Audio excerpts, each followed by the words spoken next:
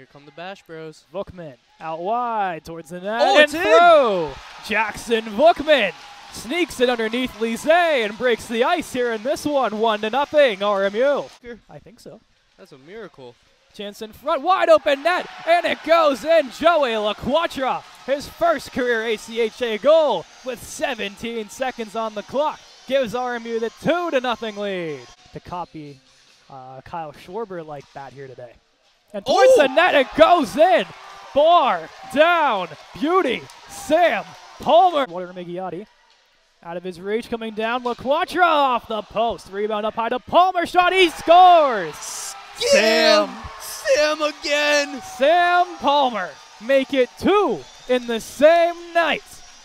No goals until tonight in his professional career. Oh, Now man. one two. Sam Palmer, how do you do? Tied at full. Curring defensively. Betts fires and Oh. scores. John Betts, the overtime heroic.